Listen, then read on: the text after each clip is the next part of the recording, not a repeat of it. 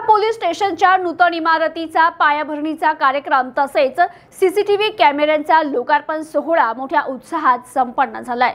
यवतमाळ जिल्ह्यातील दारव्हा पोलीस स्टेशनच्या नूतन इमारतीचा पायाभरणी कार्यक्रम तसेच शहरातील सीसीटीव्ही कॅमेरा लोकार्पण सोहळा राज्याचे मृद व जलसंधारण मंत्री तथा यवतमाळ वाशिम जिल्ह्याचे पालकमंत्री नामदार संजय राठोड यांच्या उपस्थितीत संपन्न झाला. कायदा आणि सुव्यवस्थेच्या दृष्टीनं महत्त्वाची जबाबदारी निभावणारी यंत्रणा आधुनिक आणि सुसज्ज असावी.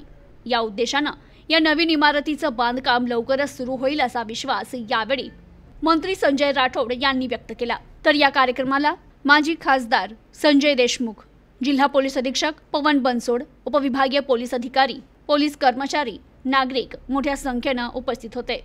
प्रतिनिधी Ajit Mahindre news today twenty four Darwha Yavatmal.